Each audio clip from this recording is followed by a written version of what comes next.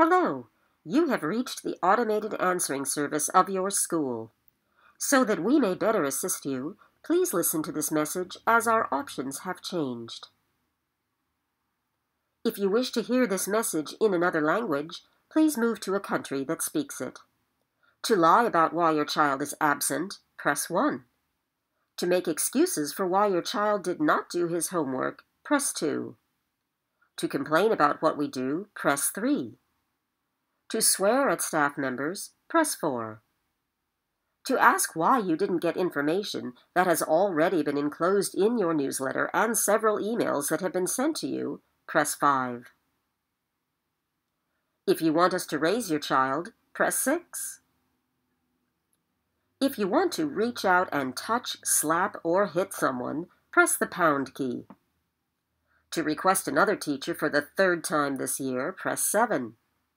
To complain about bus transportation, press 8.